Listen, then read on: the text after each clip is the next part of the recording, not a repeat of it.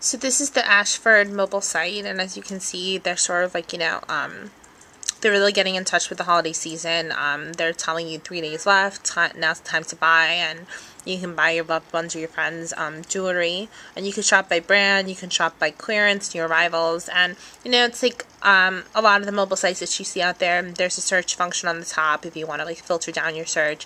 You can check your um, mobile, you can check your shopping cart here to see how many things you have. It's just really an easy and convenient thing for their um, customers.